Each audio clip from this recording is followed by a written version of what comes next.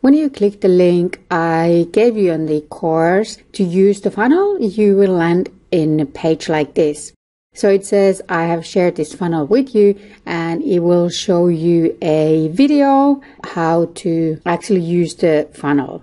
If you are a new ClickFunnels user, all you have to do is to add your email address and your password and click the green button to create your account.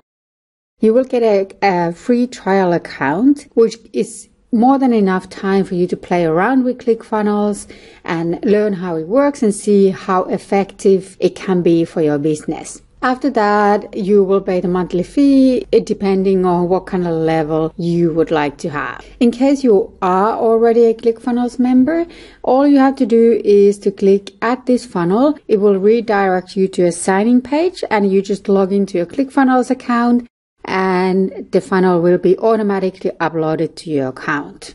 Whichever way you do, you can upload this funnel to your account and after that, you uh, you can edit, add, and change anything on the funnel on your ClickFunnels account.